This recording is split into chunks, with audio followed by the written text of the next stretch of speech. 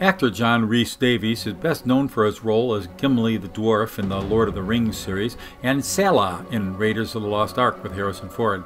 But what many people don't know about John is that in real life he's a great defender of Western civilization.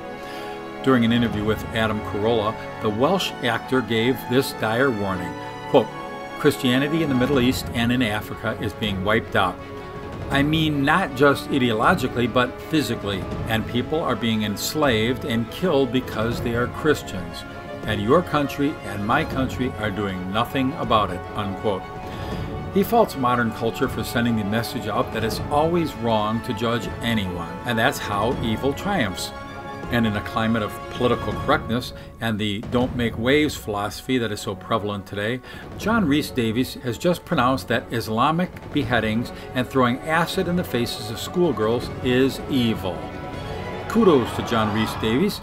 Now, is there anyone else in Hollywood who would please stand up?